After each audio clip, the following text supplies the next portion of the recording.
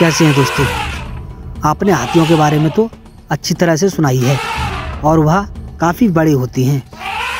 वह देखने में जितने बड़े दिखते हैं, वह कभी कभी उतने ही खतरनाक साबित होते हैं।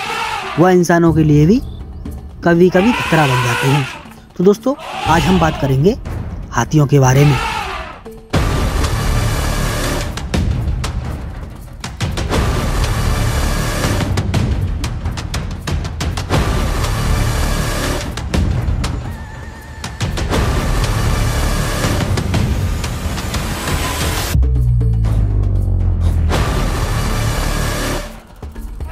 एशियाई हाथी की त्वचा भूरे रंग की होती है, लेकिन कभी कभी हिस्सों में रंग की कमी होती है, खासकर कान माथे और धड़ के आसपास। ऐसा माना जाता है कि यह अनुवांशिक पोषण और निवास स्थान द्वारा नियंत्रित होता है, जो आमतौर पर हाथी की उम्र के साथ साथ विकसित होता है। युवा हाथियों के शरीर पर भूरे से लाल रंग के बाल ढके होते हैं। उम्र के साथ बालों की संख्या कम हो जाती है और रंग गहरा हो जाता है। हाथी की त्वचा कुछ जगहों पर कागज़ की तरह पतली होती है, जैसे कि कानों के अंदर, और कुछ जगहों पर एक इंच जितनी मोटी, जैसे कि पीठ के आसपास।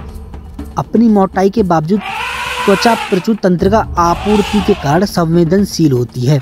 हाथी नियमित रूप से खुद को गंदगी, रेत और कीचड़ से ढककर अपनी त्वचा को धूप और कीड़ों से बचाते हैं। उनके बड़े कान शीतलन उपकरण के रूप में कार्य करते हैं। कान में कई रक्त वाहिका होती हैं, जैसे कि एक हाथी गर्म दिनों में अपने कान फड़फड़ाता है। इन नसों में रक्त ठंडा हो जाता है, जो फिर जो फिर हाथी के दिमाग को ठंडा करता है और शरीर के माध्यम से वापस चला जाता है, जिसके शरीर का तापमान कई डिग्री तक कम हो जाता है। एक हाथी का दिमाग बड़ा होता है, जिसका वज़न चार से छः किलोग्राम के बीच होता है। हाथियों को अत्यधिक बुद्धिमान जानवर माना जाता है। और उनमें सीखने की बहुत बड़ी क्षमता होती है। वास्तव में उनका अधिकांश व्यवहार सहज व्यवहार के बजाय सीखा हुआ व्यवहार होता है। अन्य स्तनधारियों के विपरीत, जहाँ पैर पौड़ी स्थिति में होते हैं, हाथी के पैर शरीर के नीचे लगभग लंबवत स्थिति में होते हैं। यह स्थिति उनकी लंबी हड्डियों की शारीरिक रचना के साथ जानवर के बड़े वज़न के लिए मज़बूत समर्थन प्रदान करती हैं। अंगों की ऊर्ध्वाधर स्थिति हाथी को अधिक ऊर्जा खर्च किए बिना लंबे समय तक खड़े रहने की अनुमति देती है। यह हाथियों को खड़े रहने के साथ साथ लेटते समय भी सोने की सुविधा देता है। अधिकांश स्तनधारियों में हड्डी में एक संकीर्ण गुहा होती है। हाथियों में इस गुहा का अभाव होता है। इसके बजाय घनी छिद्रित हड्डियों का एक नेटवर्क जगह घेर लेता है, जो हड्डियों को मज़बूत बनाता है। और अधिक दबाव झेलने में सक्षम बनाता है। हाथी वास्तव में अपने पैर की उंगलियों पर चलते हैं और उनके प्रत्येक पैर के तल पर एक मोटा रेशेदार पेड़ होता है। यह पेड़ एक शोक अवशोषक के रूप में कार्य करता है। सूर में लगभग डेढ़ लाख मांसपेशी, इकाइयाँ और टेडन होते हैं, जो हाथी को सटीकता के साथ चलने की ताकत प्रदान करते हैं। ऐसे ही हाथों की सूर के अंत में एक छोटा सा प्रक्षेपण होता है, जिसे उंगली कहा जाता है। हाथी अपनी सूंड का उपयोग पानी लेने और उसे अपने मुँह में डालने के लिए करते हैं। यह इससे कई अन्य कार्य भी करते हैं, जैसे खाना खिलाना, धूल झाड़ना, सूंघना, छानना, छांटना। इससे ही हाथों के दांतों के छह सेट होते हैं, जिनमें से सभी छह जन्म के साथ खोपड़ी में मौजूद होते हैं। हाथी भूमि पर रहने वाला सबसे बड़ा जानवर है। अपने अफ्रीकी भाइयों की तुलना में न्यूयॉर्क सहित भारत और दक्षिण पूर्व एशिया के लगभग अलग अलग हिस्सों में पाए जाते हैं। वे पहले व्यापक रूप से हिमालय के दक्षिण में, पूरे दक्षिण पूर्व एशिया में और चीन में नदी के उत्तर तक बिखरे हुए थे। ऐसे हाथियों को जंगल का जानवर माना जाता है।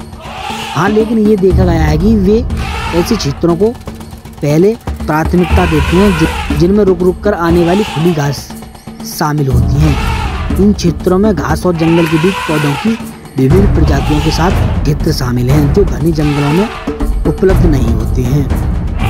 हाथी धीमी आवाज़ का उपयोग करके लंबी दूरी तक स्वाद करते हैं, जो मनुष्यों को मुश्किल से सुनाई देती है। अपनी शक्तिशाली गड़गड़ाहट में विशिष्ट संदेश होते हैं, जिन्हें दो मील से अधिक दूर स्थिति अन्य हाथियों द्वारा सुना और समझा जा सकता है।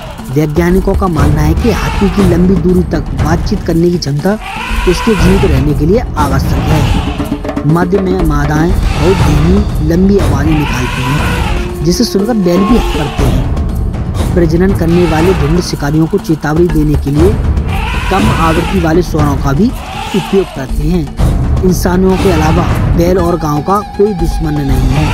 लेकिन युवा हाथी उन क्षेत्रों में बाघों के हमलों से सचेत रहते हैं, जहाँ उनकी सीमाएँ ओवरलैप होती हैं। जब कोई शिकारी दिखाई देता है तो झुंड के बड़े सदस्य तीव्र चेतावनी कॉल करते हैं, जो झुंड के बाकी सदस्य के लिए एक साथ इकट्ठा होने और फिर घटना स्थल से भाग जाने के लिए प्रेरित करते हैं। इससे हाथी शाकाहारी होते हैं और प्रत्येक दिन लगभग तीन चौथाई समय खाने या भोजन भोजन या पानी पीने के स्रोत की ओर बढ़ने में बिताते हैं। हाथी के बच्चों को दूध पिलाना निरंतर नहीं होता है। सुबह, दोपहर और और रात में तीन प्रमुख आहार खिलाए जाते हैं। दिन के समय गर्म घंटों में हाथी आराम करते हैं और झपकी लेते हैं।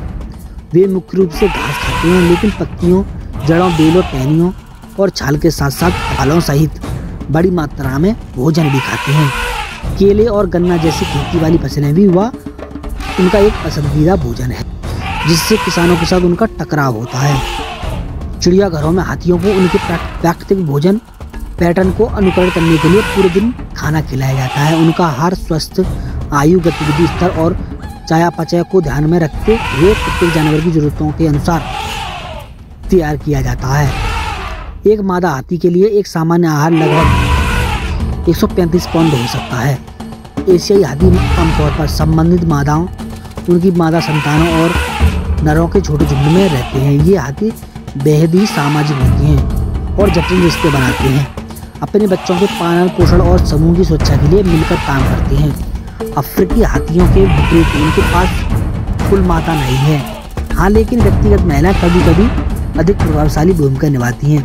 नर हाथी आमतौर पर आठ से तेरह साल की उम्र के बीच युवा अवस्था में पहुँचने पर झुंड छोड़ देते हैं। यह अक्सर एक क्रमिक प्रक्रिया होती है। युवा नर ढीले कुआरे झुंड बनाते हैं। कभी कभी मादा झुंड का अनुसरण करते हैं या, अकेले भोजन ढूंढते हैं। जैसे जैसे पुरुषों की उम्र बढ़ती है वे आमतौर पर अधिक जिम्मेदार हो जाते हैं और अधिक समय अकेले बिताते हैं। सभी हाथियों में दांत विकसित नहीं होते हैं। इससे हाथों में केवल कुछ नरों के दांत बड़े होते हैं। अधिकांश मादा और कुछ नर हाथियों के दांत छोटे होते हैं जिन्हें टस कहा जाता है। तो दोस्तों मैं उम्मीद करता हूँ आपको पता चल गया होगा हाथियों के बारे में। तो दोस्तों, वीडियो अच्छी लगी है तो वीडियो को लाइक करें और हमारे चैनल को सब्सक्राइब करें। मिलते हैं एक नई वीडियो के साथ। जब तक के लिए नमस्कार।